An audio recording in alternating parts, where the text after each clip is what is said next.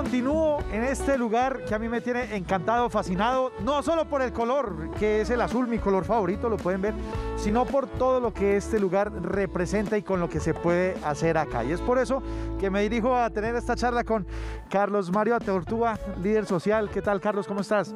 De puñito eso, Carlos.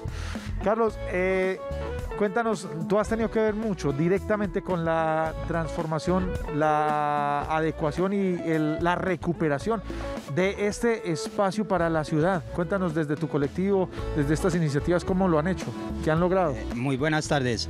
Realmente eh, ha sido un esfuerzo mancomunado y sin lucro más por amor a lo que hacemos que por otra cosa y pues no, con ayuda a la comunidad que se nos presta para el trabajo y con mucho, mucho, mucho trabajo social. Eh, la pintura la gestionamos independientemente, nos ha ayudado mucho el, CCP de Cultura, la JAL nos ha dado la mano, ahora estamos trabajando con las acciones comunales.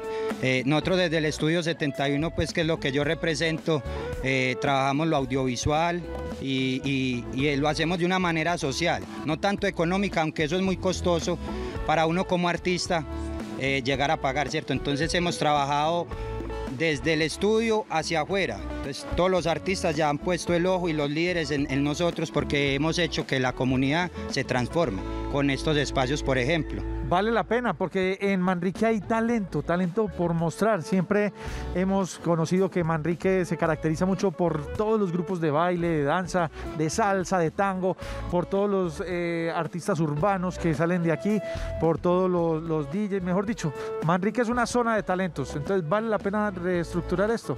Eh, realmente siempre, siempre ha sido el fuerte de Manrique, el arte. Desde los tiempos de Gardel con el tango, ahora pues ha evolucionado, como ha evolucionado la tecnología y la música. Y realmente vale la pena porque acá hay un talento nato que está siendo olvidado.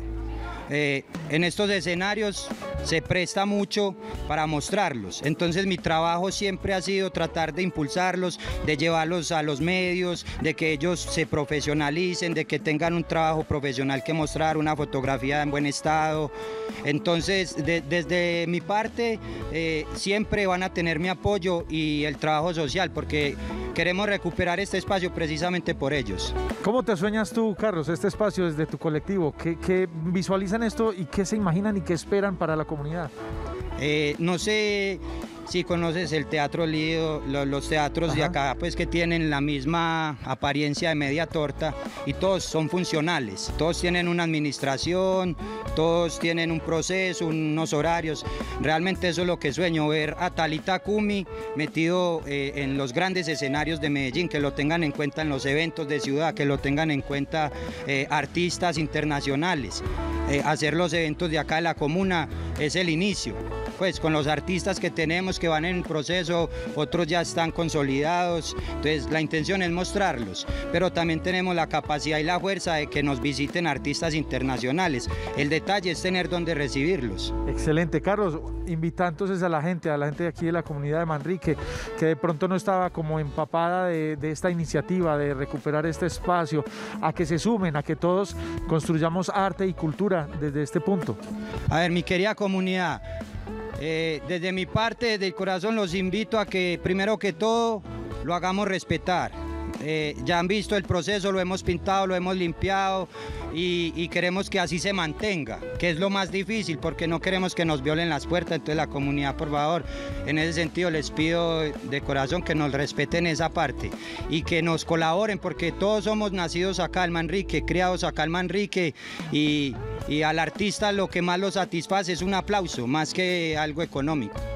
Excelente, Carlos, esa invitación, sobre todo a mantenerlo limpio, porque estarlo limpiando y limpiando desgasta porque es la iniciativa que sale de ustedes mismos, no de otras empresas, de otros lugares, sino de la misma comunidad que está luchando por apropiarse nuevamente de este espacio. Un espacio que es facilísimo llegar en la vía principal, la vía arteria hacia Santo Domingo, a una cuadrita está este Teatro al aire libre Talita Cumi, pero específicamente cómo les podríamos dar la indicación de cómo llegar.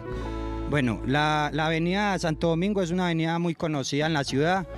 y, pues es como la, la principal llegada. Igual está la ruta de Copetranza, ¿cierto? También en el Metrocable y se descuelgan por la avenida principal a Santo Domingo, pero ya hacia abajo cuatro o cinco cuadras y están en el lugar. Eh, esto es en el barrio San José, la cima número uno, también se llega por el lado de Jardín, o sea, realmente es un espacio que está eh, disponible para cualquier tipo de evento. No es pues como un rincón, como lo hacen ver de pronto el desorden que mantenía y esas cosas, pero es un espacio que está abierto y estamos esperando que, que así sea. Eh, abierto para todo, o sea, Para todo. si yo quisiera para mí aquí a contarle chistes, hacer un stand-up comedy, no para hacer reír a la comunidad, sino para hacerlos llorar de la risa, eh, como, ah, este Acá man. hemos, hemos transmitido películas al aire libre con, con Talita Kumi, que es pues el ente educativo que, que lo administra. Es del Minuto de Dios. Entonces, con ellos, con esa articulación, estamos disponibles a que vengan payasos, El que vengan quiera zanqueros, el que quiera venir y tener una propuesta diferente a la que nosotros proponemos, estamos abiertos a eso. Listo, Carlos, muchísimas gracias por estar en tu cuadra, me cuadra. Ok, muchas gracias a ustedes.